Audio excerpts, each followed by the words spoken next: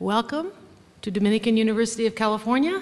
My name is Denise Lucy, and it's my honor and pleasure to welcome you here tonight. This is the sixth annual One Book, One Marin Award, and Dominican is just so proud to have been invited by Marin County Libraries to participate in this program for the last six years. Um, the program offers our Dominican students wonderful opportunity to, to engage with the community, and we're just thrilled that you're here with us. Uh, I wanted to just make a couple of comments before I introduce Gail Haar, the director of Marin County Free Library, and that is that this is the last of 13 events we've held this academic year for the Leadership Lecture Series. And Private Ocean Wealth Management has been our sponsor, and we're just so thrilled that they could help us. Can you thank them, please?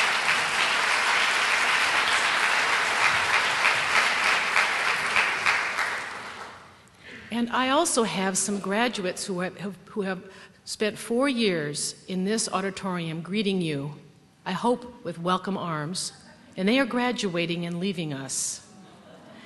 And I'm really sorry about that. I'm happy, but I'm, I'm, I'm sorry they're leaving. So would you please thank them for all their service?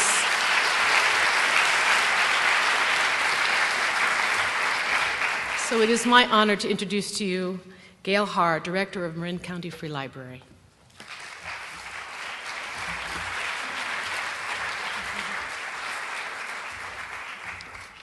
So, a wise old man once told me you should always start your remarks with a joke. What building in Marin has the most stories? The library. And also bookstores and universities. Um, whenever I tell somebody I'm a librarian, and sometimes not recently, but they used to tell me that joke, and I would just groan inwardly.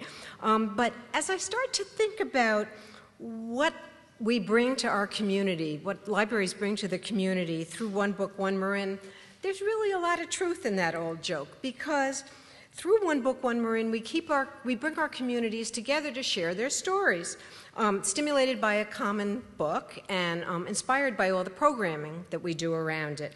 So tonight we're here to mark the sixth anniversary of One Book, One Marin, and to honor Michael Lukas and his novel, The Oracle of Stamboul. And programs around the county have had hundreds of people coming to enjoy Turkish food and listen to Turkish music and talk about the book.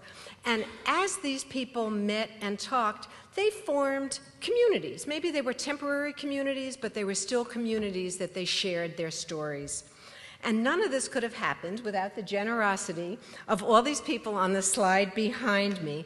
Um, they're individuals and businesses and corporations that know how important literacy and reading is to a community um, and demonstrate that um, understanding by supporting One Book, One Marin.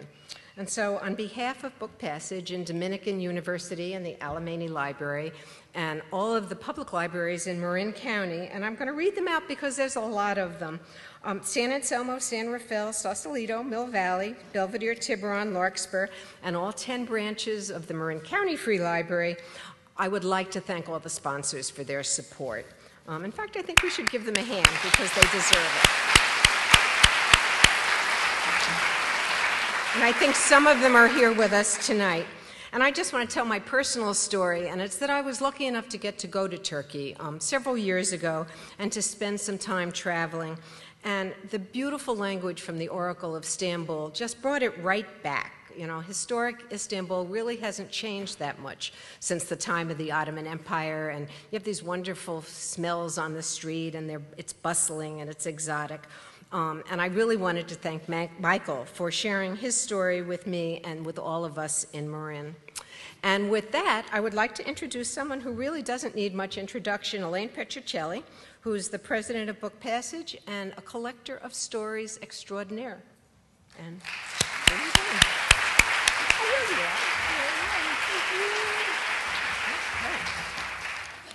This is the most fun. I just love this one book, One Marin.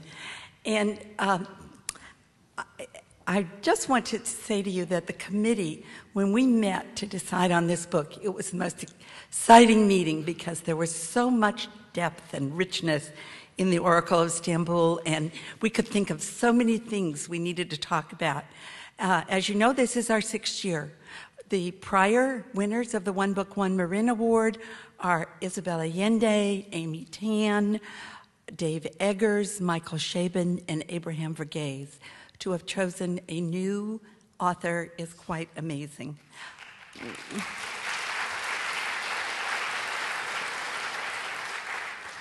Dr. Michael Krasny, who all of you know from Forum, and by the way, tomorrow on Forum, he's going to be interviewing Michael David Lukas, uh, has been a supporter of One Book, One Marin from the very first day. He has given us of his time, and uh, we are so grateful to him. A lot of you know Dr. Krasny. You know that he is a beloved English professor at San Francisco State University. Uh, some of you know that he started his radio career in Marin County with a program called Beyond the Hot Tub. I remember that. Uh, his, be, beyond Forum, he is in great demand nationally as an interviewer on both radio and television and before audiences. His two books, for those of us who are not uh, reading textbooks, uh, are uh, Off Mic a memoir of talk radio and a literary life. And let me tell you, if you want to know what those people he interviews, those Toni Morrisons, those Jimmy Carters, those Salman Rushdie say when the mic's not on, read that book. Uh, his latest book, Spiritual in Envy An Agnostic's Quest, will give you lots to wonder about, lots to think about, and lots to laugh about, too. So we're very thrilled that Dr. Krasny will be in conversation with Michael tonight. Michael David Lukas uh, knows Turkey well. He was a Fulbright scholar in Turkey. He's also worked as a night proofreader in Tel Aviv. He um, was a waiter at the Bread Loaf uh, Literary uh, Retreat. Maybe that's where he uh, overheard some things he needed. Um, he has won numerous awards. He is a fabulous teacher. He teaches third and fourth grades and, uh, and adults. He taught last year at the Book Passage Travel Writers Conference about writing with a sense of place. And boy, does the Oracle of Stamboul have a lyric sense of place. So it is my honor and pleasure to introduce these two amazing Michaels to you tonight.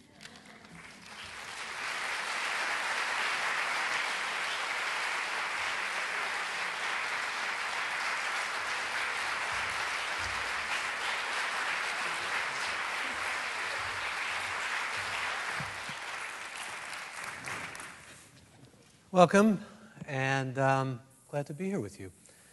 I guess a good place to begin is when Elaine mentions all of the um, rather um, extraordinary people who have been here, and I've done all of these now, I guess, uh, starting out with Isabel Allende and then Amy Tan.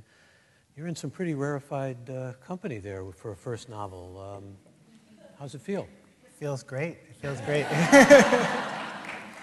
it's been one book, I mean, the whole getting published and sort of having this dream and, you know, quitting my job and sort of believing in myself has been amazing. But the One Book, One Marin has sort of been the pinnacle so far. And I feel like this is the peak of that experience. Um, yeah, it's just been so great, Elaine and Karen and Gail and everyone at Dominican and all the librarians. It's, yeah, it's a wonderful experience. Well, let's, let's talk about how this experience began for you. It took seven years to write this novel. Yeah. And if you can, talk about the genesis of it. Did it begin, well, how did it begin? Where did it begin? Um, it began uh, after I was, after college, I, I spent a year in Tunisia. And um, I was working on my MFA in creative writing applications. And when I finished them, I sort of had this moment where it was the first time where I considered myself a writer and didn't have a project to work on. And so I just sort of sat with that absence for a while, and then after a while, I got a little sort of anxious. And um, there was one afternoon that I went for a run, and I had this image of a, of a little girl playing backgammon with two older men. And then that was it. You know, I, I knew that she was the protagonist of my novel, but I had no idea who she was or where she lived or when she lived or what her relationship with these older men was.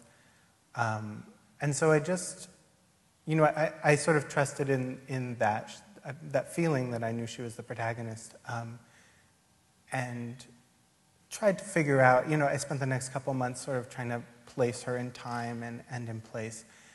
And um, How did that happen? I mean, in It- terms of placing her. well, it, it didn't happen for a while. And, and she was bouncing all over the place. She was in Cairo, she was in Damascus, she was in the 13th century, she was in the 19th century. And after a while, I was just like, enough. You know, I can't start this book unless I know where she lives and when she lives.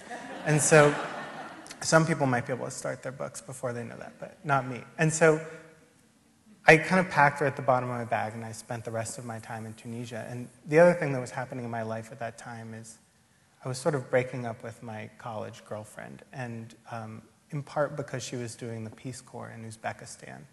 And so I decided I was going to go visit her after Tunisia. Um, I, wanted, I wanted to sort of give it a last shot, or, or at least see her as it sort of deteriorated. And so I. It's important, right? Yeah, sure. Uh, um, so I, I bought She a was ticket- being supplanted by Eleonora, too, right? yeah, yeah. So I, I bought a ticket to Uzbekistan, and, and for whatever reason, there's no Uzbek embassy in Tunis, so I had to go to Istanbul to get my visa. Um, and I had the address, I had my lonely plan, I had everything, um, but I could not find the embassy. I, I spent four days, the entirety of my time. I, was, I figured four days would be enough, but it wasn't. And I was just wandering around the city looking for this embassy, and, and finally I figured, okay, I have like a letter of introduction from her, that should be enough. Um, and so I convinced my way onto the plane and um, went to Uzbekistan. And then when I got to Uzbekistan, the guy at the visa office was just like, no, it's not happening. Um, and and that, there's a whole other story in there that's sort of more long and reflects poorly on me, so I won't go into it. But um, I ended up being deported from Uzbekistan and sent back to Istanbul. And You're the first person I've ever met who's been deported from Uzbekistan. really, you met a lot of people too. Um, so I ended up, uh, the blessing in there is I ended up with 10 days to myself in, in Istanbul. And I'd been to the city before, and so I'd been to all the tourist sites and everything like that. And so I just kind of did what I love to do when I visit a city, which is just wander around the different neighborhoods. And it was probably the third or fourth day, I was in this neighborhood called Çukurcuma, which is the setting of Orhan Pamuk's most recent novel. Mm-hmm. And, a Nobel Prize winning Turkish novelist. And a great novel. My old radio mind says, you know, sorry. So I went to, uh, this neighborhood's famous for its antique stores. And so I um, went to this one antique store, it's this narrow little sort of junk shop. Um, and really dusty and, you know, filled with stuff. And at the back of it was a, was a crystal punch bowl with a stack of photos in the middle of the punch bowl. And the top of that stack was a picture of a little girl standing on a chair and kind of leaning against a podium. Um, and I knew as soon as I saw her that, you know, this was my protagonist, this was that little girl playing backgammon, and that the novel was going to be set in 19th century Istanbul. And so everything sort of clicked, and I went back to my hotel and spent the night feverishly writing. Um, and I should say it's the only night I've ever spent feverishly writing in my life. Didn't you feel you had to learn all about the setting once you had decided on it and do research about the Ottoman Empire and all that? I, I definitely did, and later I did that. But I think that what was missing for me was really just sort of a, a sense of um, place in history. Because I knew that I wanted her to be living in sort of a powerful political center at, um, at a moment of sort of flux. But I didn't know what it was going to be. And once I sort of figured out what her place was, then, yeah, then it, then it sort of But her birth is almost like a kind of nativity. I mean, it's uh, miraculous in many ways. It suggests, of course, what you move into in the oracular sense of her uh, as a protagonist. What led to that? I mean, the idea that somebody could actually be born in a way that would maybe uh, be prescient for the future and turn the world on its axis, even. Well, I think that, um, so the other thing that was going on for me in Tunisia, if I want to like sort of psychologize myself, um, is that I, I, I had a Rotary Foundation scholarship, and my my mission there was to sort of repair the gap of understanding between the United States and the Arab world. And I did it. Yeah. you guys didn't hear?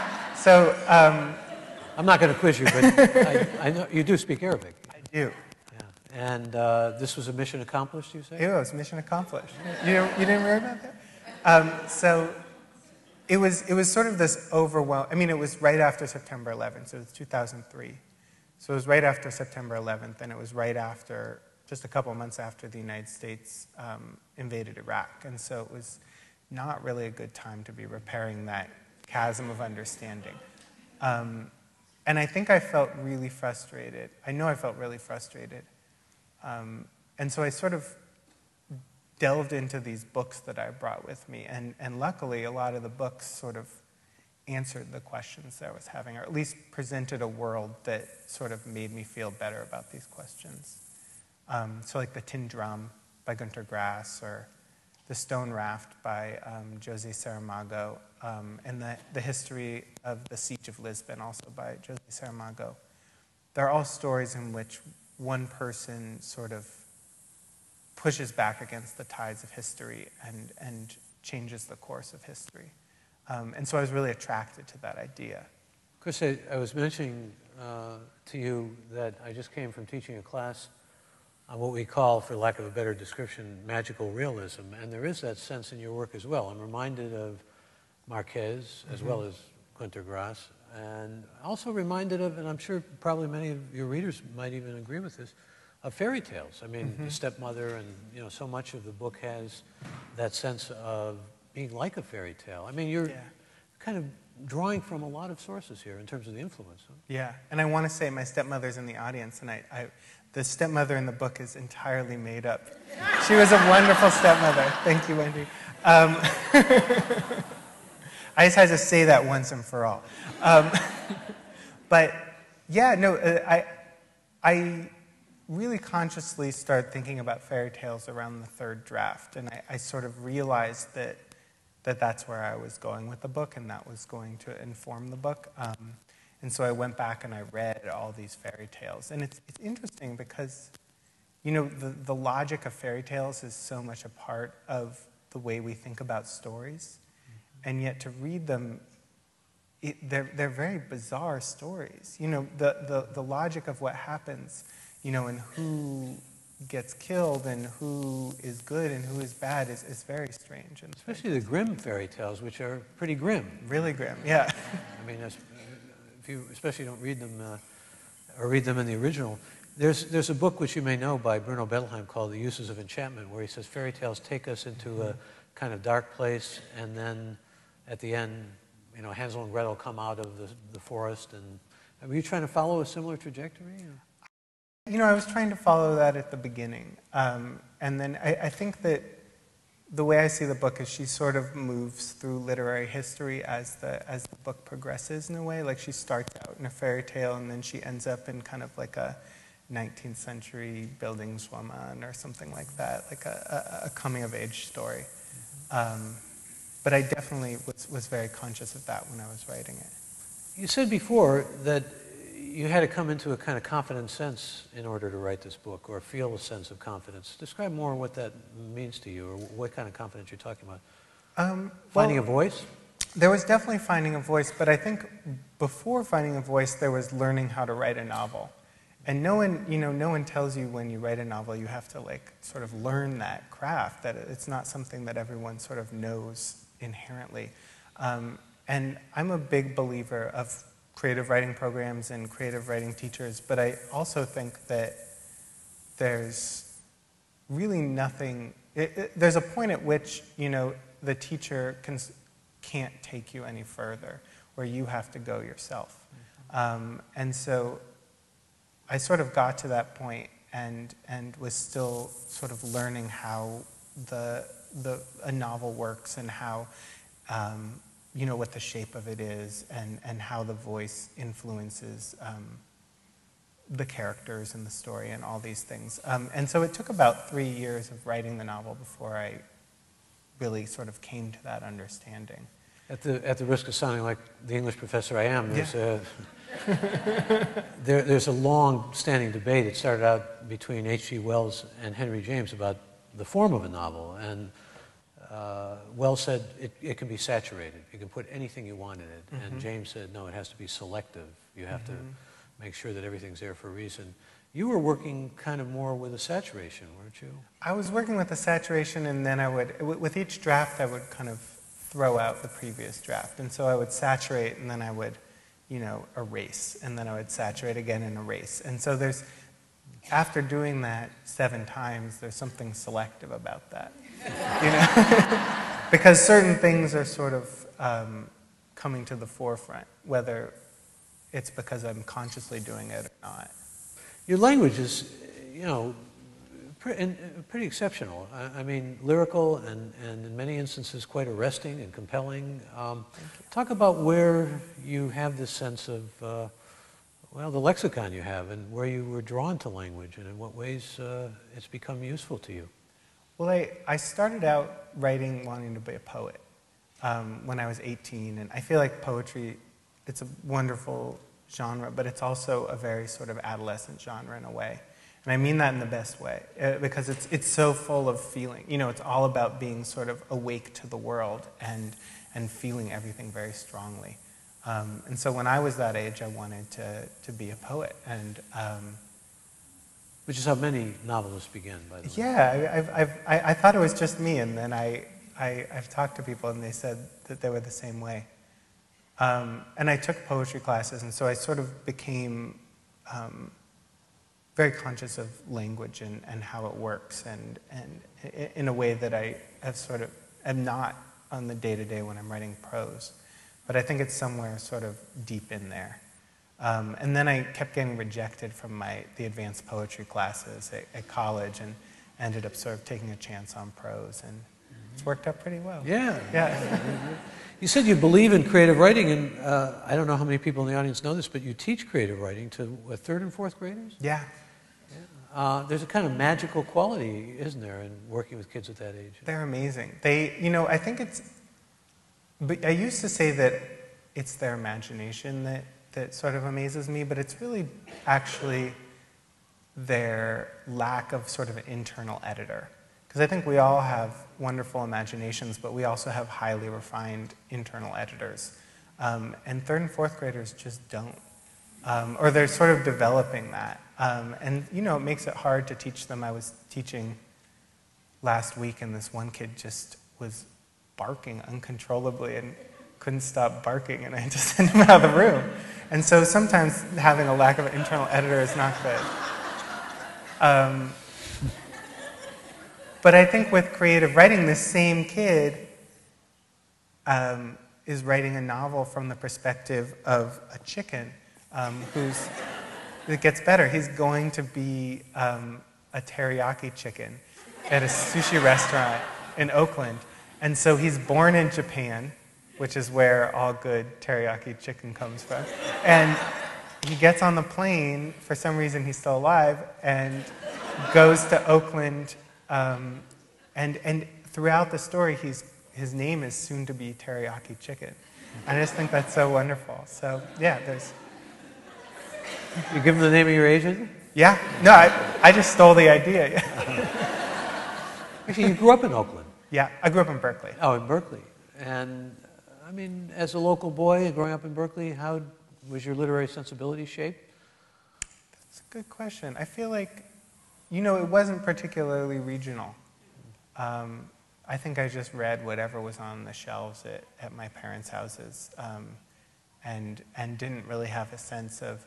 I remember um, when I was sort of started, I, I, was the editor of the high school paper, and I remember sort of this having like an evolving sort of literary sensibility. And I think right around that time, Allen Ginsberg died, and I remember on my walk to school. It was 1997. Yeah, that was my senior year. You did a show on it, yeah. Um, and there was a little cottage um, on my walk to school, and out in front of a cottage was one of Allen Ginsberg's poems, and it was written about that cottage that was on my walk to school. because I guess he lived in Berkeley for, for a few years. And so that was sort of the beginning of my sense that the Bay Area is this wonderful literary place. Um, but it came very late in life.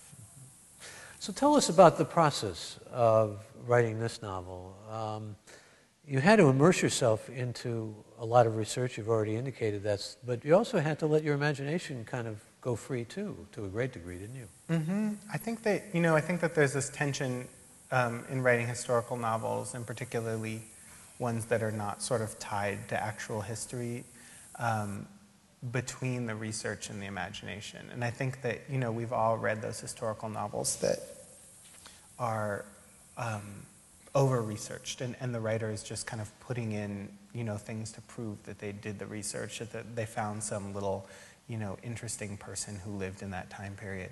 Um, and so obviously it's important to do it because you don't want to you know say that there's a Louis XIV chair when it should be a Louis XVI chair because as I've learned, people will send you emails about that and tell you that you're wrong. Um, and you want to be accurate to a certain extent. Um, so yeah, I, I, I, studied Hebrew and Arabic literature and sort of the Middle East in college and um, read everything I could find about the Ottoman Empire and then lived in Turkey.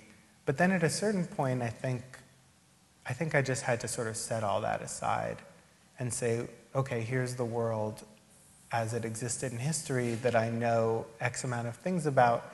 Um, but it, then There's I, the story, though. Then what's my world that I'm creating, sort of alongside or on top of that world? But I mean, doesn't the story begin to take over the need to tell the story? Because you have so, you actually have a lot of stories interwoven here. I mean, mm-hmm. you have her story, this prodigy, wonderful child, and you also have all the political intrigue later on, and her father, and stowaway, and all of that is moving you towards something eventually. I mean, yeah. it has to have all the threads the figure in the carpet, to use the Henry James statement, which is appropriate for this book. Yeah. They all have to come together, right? Yeah, I think, and I think the story really should take over, you know, its history. And so I think you have a responsibility to at least sort of hint at the fact. I think that, I think that the novelist owes a larger debt to the story than to history. Um, and, you know, eh, whenever possible, those things should, you know, coexist in harmony. But when one of them has to win, I would say the story should win out. Um, but, but, I also think that, you know, I think it's a responsibility because a lot of people do read historical fiction as, or hint, hint at places where it sort of deviates from history. What was the historical story that you wanted to tell? I wanted to tell, well, I wanted to have this little girl come into a time and place in history where things could change drastically and things could have gone one of many ways. Um, and I wanted her to just kind of push in one direction um, and, in a way, to create the world that I want to live in. Um, and, and, so that was sort of my very theoretical desire that doesn't really actually even come through in the book that much. But it was sort of what was motivating me um, really deep down inside was, was this was a desire to create a world that I wanted to live in. Um, it sounds very utopian almost, or idealistic at least. Yeah, or, or, or at least I think I wanted to, I was feeling really disempowered and wanted to sort of change history and knew that I couldn't. And so the next best thing was to write a sort of fictional world in which history was changed. An alternative history. Yeah. yeah. But, it, it, you know, there's all these wonderful alt histories, and I think that my, my book sort of stops short of that. And so I wouldn't want to sort of claim that mantle. Mm-hmm. Yeah. And you lived in Egypt, you lived in Tunisia, you absorbed a lot of those cultures, and mm-hmm. in fact, you're now, you're now working on a book about Egypt. Yeah. So. Yeah. So there's not, somebody had asked if there would be a sequel. I guess that uh, we'll have to wait for that. Uh, Although this, this character's still with you? Is she still with you? You know, she's not. I wish. Sorry to all those people who might want a sequel. I think, you know, I think that she, for me, she, she did her duty.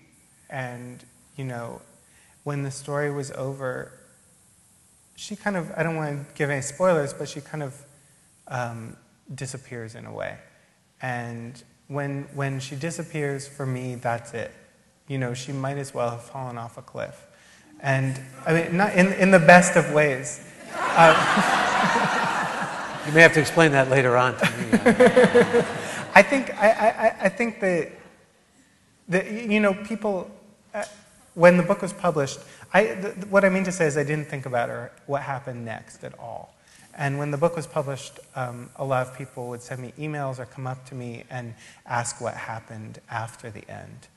And for me, it was a, it was a closed unit. The book was sort of done after the end, um, and I was sort of satisfied with what happened.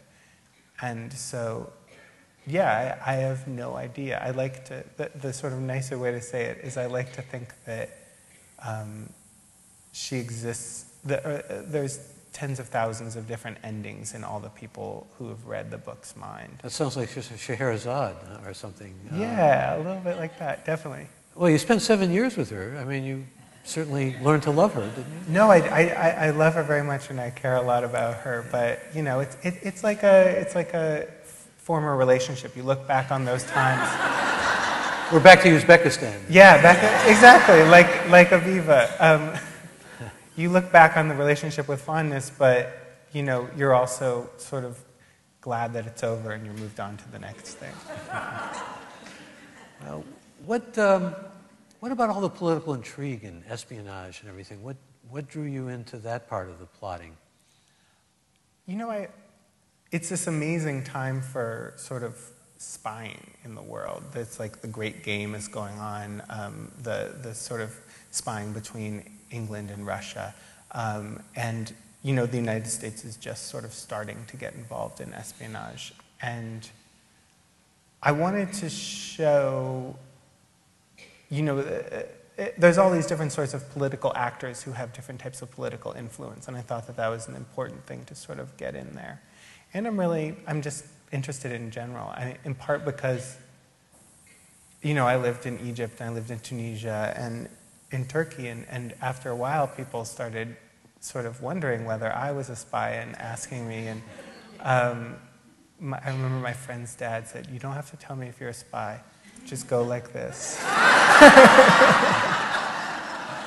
um, and so I think that experience made me start thinking about, yeah, what, what it would mean to be a spy and sort of how much that influences um, our politics.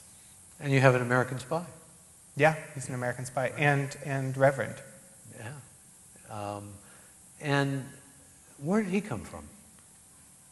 He that so there's a um, there's a university in Istanbul called uh, Roberts College, and it was founded as a part of this sort of network of American um, religious universities in the Middle East, and th- those universities were in part trying to sort of um, proselytize, and in part they were kind of hotbeds of um, espionage, and I, I just thought I, it's like American University of Beirut, American University of Cairo, um, Roberts College. There's one in Eastern Turkey whose name I always forget. And I, I went to American University of Cairo when I was studying abroad, and so I was always kind of interested, like, what was it like for these Americans to come over here in 1870? Like, how different was this place, and what was their sort of orientation towards this place? Um, and I, I really wanted to explore that. Um, and then the character as he evolved, I sort of, he's one of the few characters that I kind of crammed a bunch of different characters into. But I, I feel like I should do that more because I love how he turned out. He's, he's sort of this bundle of contradictions, um, which I guess is what happens when you cram characters. This is also what uh, Stamboul is, a bundle of contradictions. Yeah. yeah. yeah. Um, and yet, there's something quite exotic that you're able to communicate. You wanted to capture that, I think, didn't you? I wanted to capture that. I, I also wanted to show, you know, the way that it's home to a lot of people. I, I, it was definitely a sort of fine line I was trying to walk between the exoticism. And I, Eleonora, it, it was a, made a little bit easier because Eleonora is not from there. And it's, it's this big, amazing, crazy, exotic place to her. So I was able to sort of impart that. Um, and have us see through her eyes. See it through her eyes. But I also wanted to, you know, impart through the Bey and impart through the Sultan I wanted, I didn't want to forget that it's also, you know, a lot of people's home. People just grow up there, just like they grew up in Oakland. How do you think? Uh, I mean, the book has been well received, and you know, the the, the reviews have been really quite uh, uh, complimentary and, and laudatory. How do you see your novel fitting into, say, the schema of the, the world we live in today? Its uh, universality or its relevance? You know, I, I would like to think that people, you know, uh, one of the sort of ulterior motives that I had when I was writing the book is I wanted to write a book that would be about the Middle East um, and that people could read it and, and they would say, hey, that seems like a nice place. Mm-hmm. Or that seems like a really interesting place. Um, because so many books and so much of what we read about the Middle East is so sort of either exotified or is about conflict. Um, and I wanted to write something that was sort of separate from that. Um, and so that's part of it. That was I, your original mission. Yeah, that was my original mission. And yeah, so I, would like to think that I, have done the Rotary Foundation well. um, that, um, but uh, I also, you know, it was interesting. I, I, wrote the book sort of not thinking about how it fit into, you know, the literary landscape or anything like that, because when you're writing your first novel, it's a little bit presumptuous to think about that. Um, but after it was published, I sort of realized how, how strange of a novel it is compared to a lot of other sort of American novels, and especially a lot of American first novels, um, because people are often writing about sort of their childhood or their experience growing up or what have you, and, and this is obviously very far apart from that. Um, I think that, you know, when I think about who I look to, especially for this book, for guidance, um, and who my sort of artistic lineage is, it's all these really old European men it's like Gunter Grass and Italo Calvino and Jose Saramago and um, a little W.G. Sebald.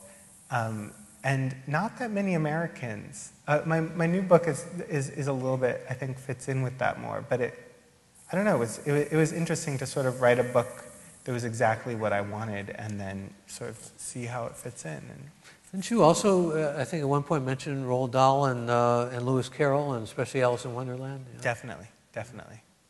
I mean, I guess they're old European men too. Yes, uh, different, different part of, uh, of the continent. Um, we're going to um, take some questions from you. In fact, a bunch of them are already here, so I'll just I'll go to some of your questions. And I guess Elaine explained uh, that you can just write them on a card, and we'll we'll go to them. Um, first question here is. Um, this is the person who wanted to know is there a sequel in the works? We've already answered that. But why did you decide to make the protagonist Jewish? You know, it, it, that's like the second most common question that I get. And, and so it's good that it was asked. I, it was never a decision for me. It was, you know, her being Jewish and her being female um, was always just sort of how it was. And I don't, I don't know where that came from. Um, but then the question became how do I sort of present her Jewishness. What part does her Jewishness play in the novel? Um, and again, I wanted to walk a fine line. I wanted to sort of show the, the very real anti Semitism that existed in the Ottoman Empire at that time, but also at the same time to sort of recognize that it's a, you know, it's a multicultural society where Jews fled to mm-hmm. for hundreds of years um, and Christians. And, and so, yeah, I thought there, there was sort of a tension there. And, I, you know, her being Jewish is not a huge part of the novel. It's, but, you know, uh, what I say sometimes when people ask that is, is that, you know, for me, being Jewish is a big part of my life, but it's not a huge part of my life. It's not the, you know, it's not the identity on which my sort of plot turns all the time. Um, and yeah, so it's the same thing for Eleonora. On the big box of rugs in which she hid herself, was there a latch which a passerby might have closed? And the age of nine seems young to me. Should she have been age 11, perhaps? This is an editor already. Uh, Perhaps she should have. well, I mean, considering how extraordinary her mind is and what a genius she is, um, a little bit of suspension of disbelief about a nine-year-old having that kind of uh, ability. Although there are certainly prodigies and geniuses like that. Definitely. And I, um, yeah, I, so one of the reasons that I wanted her to be so young was so that she would be so exceptional. You know, a 13 or 14 year old who has her powers would be pretty amazing, but not, you know, magical. Um, the other reason that I thought it was important to have her be so young is that I didn't want any sort of um, sexuality to play into to the book. And I, I didn't want that to really be an issue when she was going to the Sultan. And if she was 11 or 12 or 13, it would start to be an issue with her, with the Sultan and with the Bey and with all these sort of men that are around her. But there's a way that being eight or nine allows you to have a certain innocence and to sort of bypass that, that issue. Were you using Ruxandra and the Sultan's mother to set a contrast for nurturing styles? Interesting. Not consciously. um, yeah, they're, they're, very different nurturing styles. And, you know, I think what's interesting about the two of them, if you're sort of comparing them, is, is they're very different ways of wielding power as a woman in that time. Um, and I think it's important to recognize the power that, and influence that women did have at that time, but also sort of how constrained they were. Um, and so Ruxandra and, and the Sultan's mother both exert enormous amounts of influence and power, have um, an enormous amount of power, but at the same time, they're, you know, they're sort of boxed in. Please speak about the role of the novel The Hourglass. Ah, so The Hourglass is a um, fictional novel that Eleonora is sort of like a touchstone for Eleonora. Um, and she looks to it to sort of understand the world. Um, and so for a long time, I, I was trying to find an actual novel for her to use. To, yeah, to, to make to one up. Though. I had to make one up. I, you know, because I had like Jane Eyre, um, the fourth draft.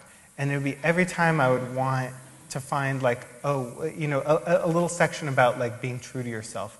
I'd have to look through all of Jane Eyre to, to find it, and then it wouldn't be there, I'd lose it. And, and so I, I, found it was much more expedient to actually just write it. Um, so How many drafts were there, by the way? In, there were seven. Seven years. Seven draft, one each year. Mm-hmm.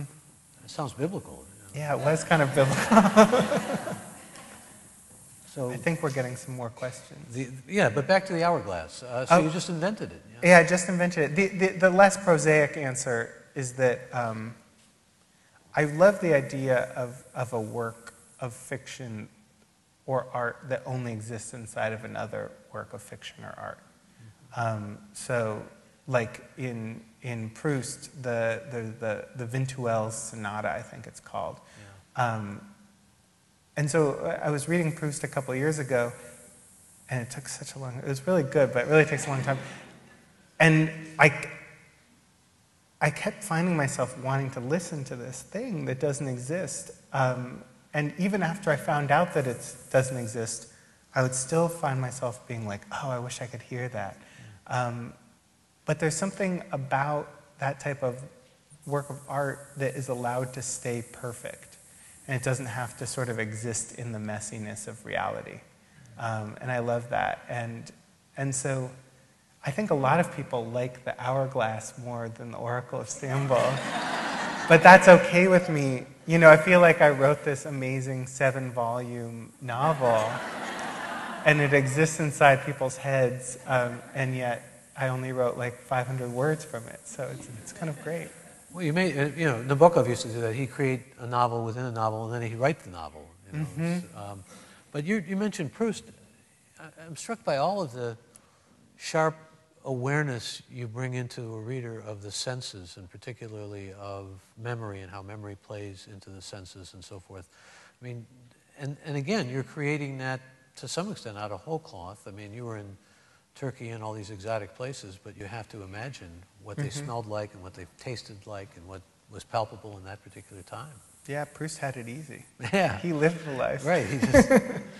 He just, we got somebody who wants to, actually, somebody who outlined the whole thing here said, could you please speak about the multiple parent child relationships? And then Eleanor and her father, Eleanor and Bey, Eleanor and Mrs. D, uh, Mrs. D and her niece, E and her mother, E and her aunt, Sultan and his mother. I mean, somebody who really did a deconstruction kind of uh, diagrammatic thing here. But was this pretty much uh, something you were tracking or that you had worked out? No, you know, not so much. I, I, I think that it's true, though, the parent child relationships are sort of a fulcrum in, in the book. Um, but in part because Eleonora has so many sort of parental figures. You know, she probably has like eight or nine different parental figures, and then all the other parent child relationships, I think, are kind of foils for that relationship. Um, yeah, but I, I, I think that it was not something I thought of consciously. It's something I thought of consciously about the next book, but, but not about this book. So maybe it's just something I'm interested in. Did you have to have her father die? Spoiler alert. No, I think most of the people here have read the book. I'm just kidding. Um, I, you know, I, I kind of think that I did have to have him die. I think that for her to fully mature and to fully, you know, there's a sense at which, in which, you know, part of what makes the book interesting to me is the sense of danger. Um, Menace. menace, yeah, that, that anything could happen to this child um, that we've gotten attached to. And with her father around, you know, he can protect her. He's not the best protector in the world, but he's still a pretty good protector. Um, and there's also, I think, there's a sense of loneliness that was really important to me in writing the book. Um, you know, she's sort of at the center of all this intrigue and speculation and projection, and yet she's like really profoundly lonely. Um, and I think that loneliness comes from her father dying. I mean, her mother dying obviously at the beginning, but then, but then her father dying sort of is the last nail in that coffin of loneliness. And it makes her an orphan, which is an archetypical figure, right? Yeah, yeah. I didn't want to have both of her ch- parents die right at the beginning because I felt like that'd be a little unrealistic. I just throw them off the cliff, that's all. Yeah. Uh, in many myths and fairy tales, it seems that the heroine often is motherless or even an orphan, almost as if she needs to be freed of a parent or parents in order to have her heroic adventures. What went into your decision to make Eleanor an orphan? I think you just answered that, didn't you? Um, any recommendation on a good readable history of the Ottoman Empire? Hmm.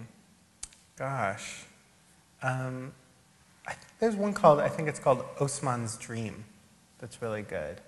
Um, you know, there's not, a- and then there's, um, I'm totally blanking on his name right now, but The History of Modern Turkey.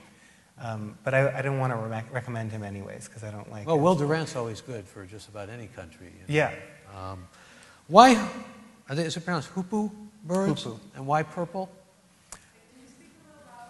Why the hoopoe birds and why purple? I'm sorry, I'm not using my broadcaster voice here. You can't hear me.